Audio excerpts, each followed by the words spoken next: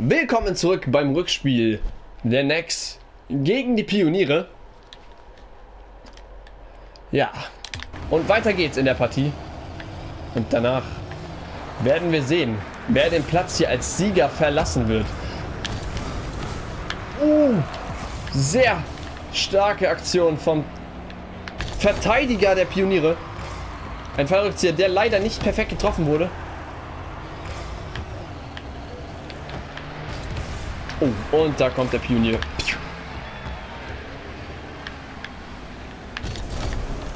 Boah, sehr stark gerettet. Der Ball liegt auf dem Platz. Und da ist der Sieg für die Neckar.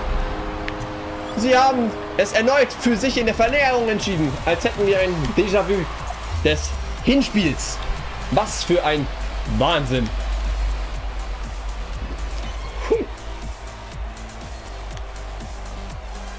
Sehr starke Partie.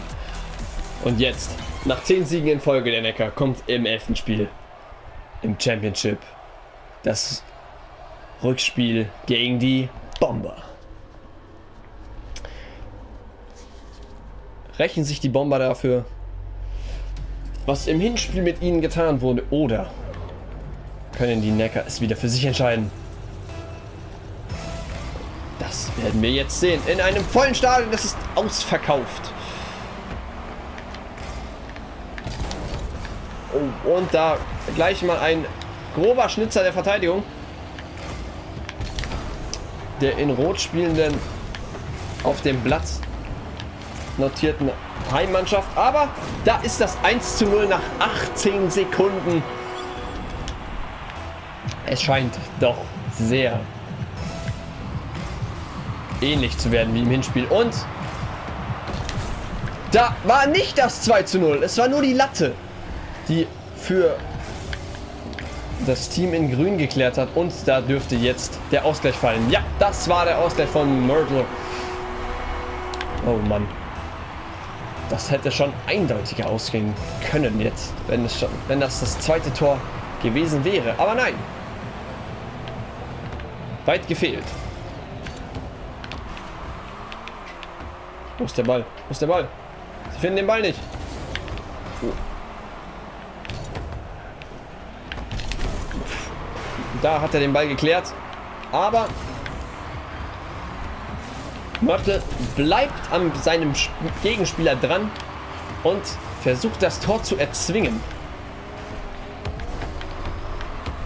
Eine schöne Ballführung von Team in Rot, aber die Chance wurde nicht genutzt. Die Chancenverwertung ist ein ganz großes Manko der Roten.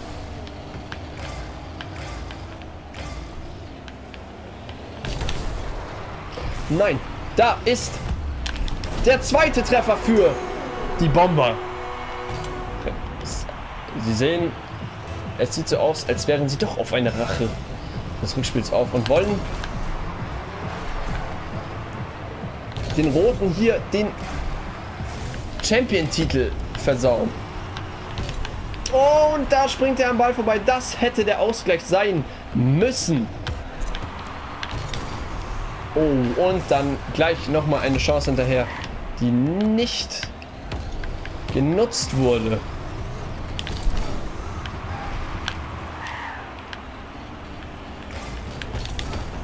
Oh, da ist der dritte Treffer für die Bomber. Was ist denn hier los? Wahnsinn. Das Stadion tobt. Und, und, und ist da... Da ist wieder der Anschlusstreffer. Ein typisches Bild dieses Teams. Nach dem dritten Gegentreffer direkt aus dem Anschluss heraus den Anschlusstreffer herauszumachen. Aber noch ist hier alles einigermaßen offen. Knappes Ding wieder vor der Linie der Neckar. Aber jetzt fahren sie einen Konter über die Außenbahn. Und nee, das war das war es mit der Chance für Rot. Jetzt ein Konter genau über die andere Seite und vom anderen Team. Ah, zack. Ein Rüs einsteigen. in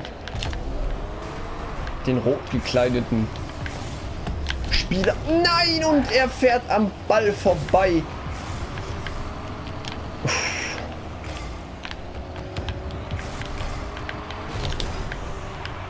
Oh, da ist der vierte Treffer für Team Grün.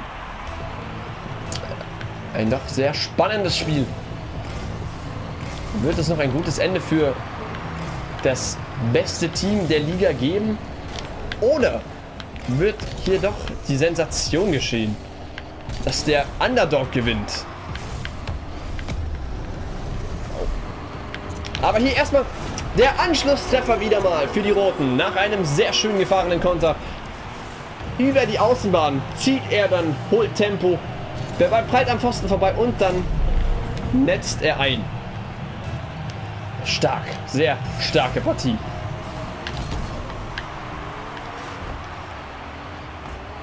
Oh, da hat er den Ball sehr gut angenommen.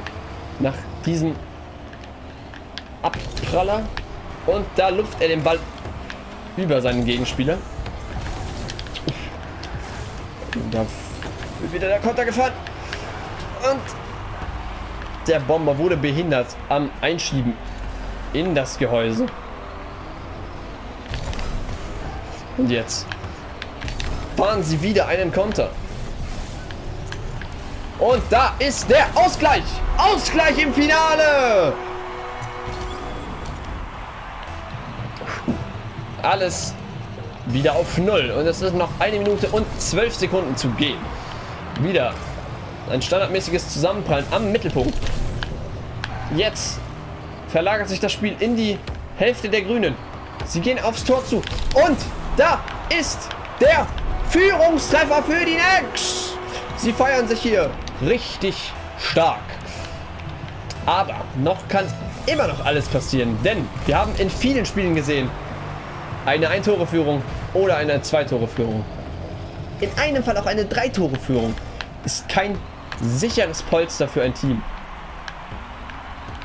Vor allem nicht, wenn sie sich so stümperhaft verhalten, wie hier gerade. Oh, da verfehlt er den Ball und öffnet für die Bomber eine Möglichkeit. Aber sehr gut nochmal reagiert. Oh, da ist... Bam, der Vollrückzieher raus. Aus dem Fünfer. Nein, da ist doch... Nein, da treffen sie doch noch zum Ausgleich. Schauen wir uns das doch noch an. Hier, die Klärungsaktion. Der Kopfball, der am Pfosten prallt. Der Rettungsversuch. Und dann war er doch drin. Im Nachschuss. Was für ein packendes Finale. Wahnsinn. Und da geht der Ball zur Führung für die Bomber ins Tor. Ich fasse es nicht. Was ist hier denn los? Das Stadion steht Kopf. Die Grünen fallen schon in einen Freundtanz. Aber da ist noch nicht der Treffer.